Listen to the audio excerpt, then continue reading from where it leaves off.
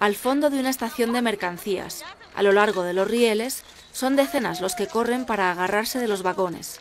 Nadie sabe cuándo va a arrancar de nuevo el tren, así que es necesario apurarse para trepar y pasarse las maletas. Entre ellos una familia, tres niños y un bebé. ¿Tienes miedo? No, no, no. ¿Por qué? ¿Cómo es posible? Ya he viajado. En el vagón hay rollos de chatarra. Es ahí donde se instalan. El tren tarda en volver a arrancar. La familia renuncia. Demasiado polvo. Sin avisar, el tren se va.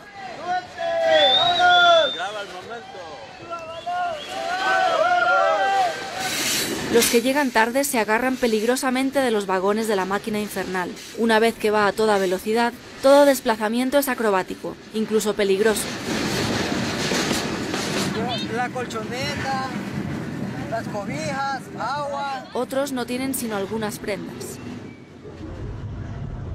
Este viaje, que dura unas 20 horas hacia la frontera estadounidense, es una prueba física. El calor en el tren es agobiante, el viento es seco y quema, y muchos de estos migrantes no tienen reservas de agua suficientes. En cada pueblo por el que atraviesa, el tren recupera pasajeros que se suben a él en movimiento. En este vagón hay maíz y metales. Esta vez los migrantes están como suspendidos, a 6 u 8 metros del suelo. En América este tren es llamado la bestia. El tren se llama la bestia es porque mucho se menea y es muy peligroso estar a la orilla y puede caer. Es como que montes un toro. Atravesar lo que los migrantes llaman la selva es lo más peligroso, acostarse para evitar las ramas. Durante el día y sobre todo en la noche. La bestia ha dejado muchos amputados. A lo largo de las vías nos cruzamos con este hombre.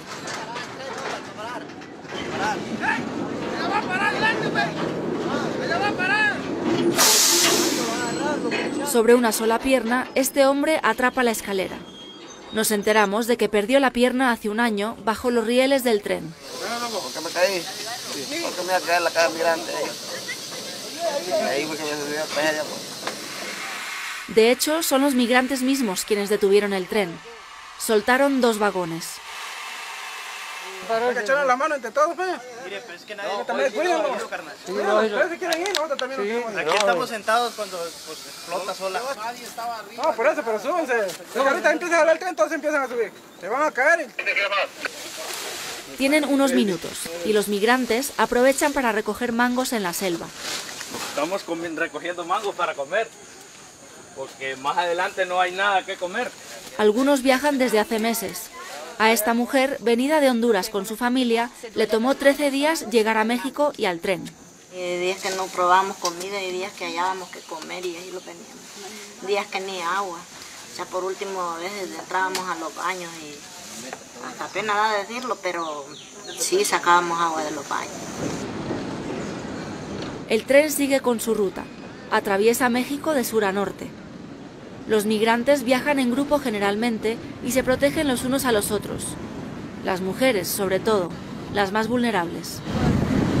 Cuando entra la noche y el tren para un lugar vacío, que no hay casas, no hay nada, y se queda ahí, uno mira que anda gente y pues uno mujer, ¿no? Le da miedo que alguien suba y pase algo.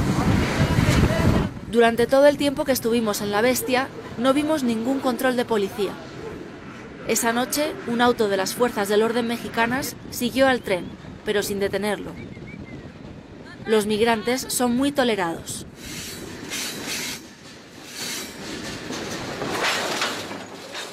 Cae la noche. El ruido de los rieles va a acompañar el fin del viaje. En las estaciones, los migrantes suben o bajan para pasar la noche en refugios. La frontera estadounidense está todavía a unos cientos de kilómetros.